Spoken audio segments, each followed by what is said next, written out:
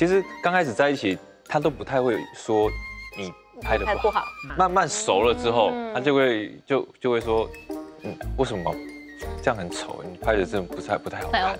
然后到最后更熟的时候，就就会说你拍的什么鬼东西？那你既然已经从前面就有感受，你为什么不增加增进你的拍摄影技术呢？我就是做这件事情，所以他到现在就是很满意我。哦。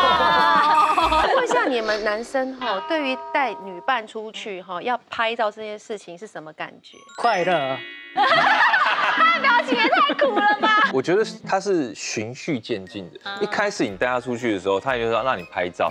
其实刚开始在一起，他都不太会说你拍的不好，但你就他就会说嗯哦好谢谢。你就会发现他根本没用这些照片。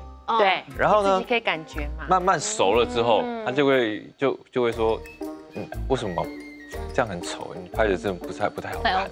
然后到最后更熟的时候，就就会说你拍这什么鬼东西？哦，就直接讲鬼东西。对对。那我想问你，那你既然已经从前面就有感受，你为什么不增加增进你的拍摄影技术呢？我就是做这件事情，所以他到现在就是很满意我。哦。厉害到我还会帮他修图、修滤镜，然后弄角度，然后拉脚长、腿长，整个就是杨太太要对号入座。再丢给他，然后跟你讲，呃，这些我已经帮你修好了。哇！你你的脸自己修，因为马上两位 PK 一下，手机借我一下。好，来，你你们拍他。这么突然，我把它拍拍谁？拍若琪站起来，我站起来，你帮他拍，看谁？拍的好。你们两个，你们两个，我们女生就是要腿长，腿长，瘦瘦的腿，他很好拍啦，很好拍。一个背景，他很好拍。一张，高志导演，一张，一张，可以上树吗？哎，没有，没有，就一张，还有什么上树？没有，来，我也知道那个推张那个方法是要这样嘛？翻过来，是吗？内行的，你看，就光一个，就是学小反用，学乔玉哥的姿势，好，不用拍了，你赢了。真的，你你现在再来试一下，你给他试试，给他感觉，告诉完全正确。你把照片那个相机反过来再拍，反过来拍啊，你看，反过来拍哦。哎，要这个姿势，姿势，对。然后你两张，我跟下，我我给你看一下，我反过来拍，嗯，这样有没有。哇！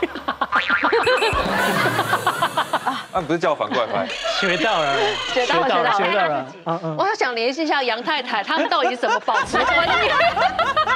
她 维持的秘诀。有了，我知道这招了，我知道反过来，手机反过来拍就会腿长。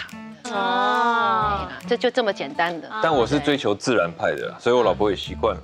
对，她开心就好。你们的太太真的脾气都很好。哎，我跟你讲，我觉得你们要学杨森达，哎。他说什么？他从来没有帮我拍过照。啊？他说到这个地方旅行，对我说这好漂亮，帮我拍张照。小姐用眼睛记录。他说你看你这个美景，然后你放一个人在旁边，那这样有什么意义？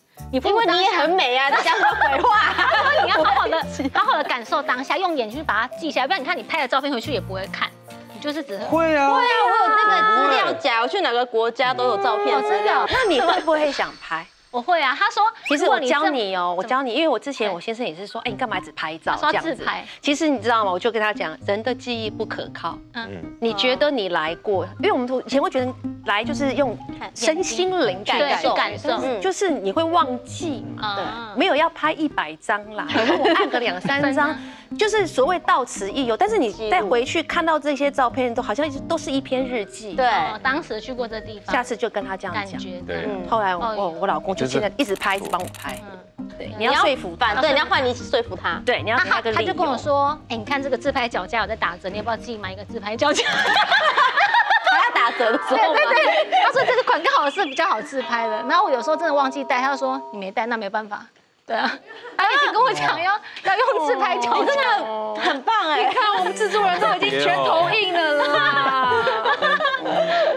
好一点了，现在会了，他就按个两张，所以我对他只要帮我按这两张，我就说 come 上面大 come 上面已经很感谢，就不会有太多怨言，就不会说你拍这什么鬼照片。男生啊，叫小朋友一下，要鼓励，对对，要说你好棒，你真的做的很好哎。不管他拍的好不好，你都先先一点点赞美。对，我跟你讲，你一点赞美，我跟你讲，他屁股会翘起来哦，屁股翘起来，他就会增进自己的技术。对，你骂他，反而他会生气，他就不跟你拍了。没错啊。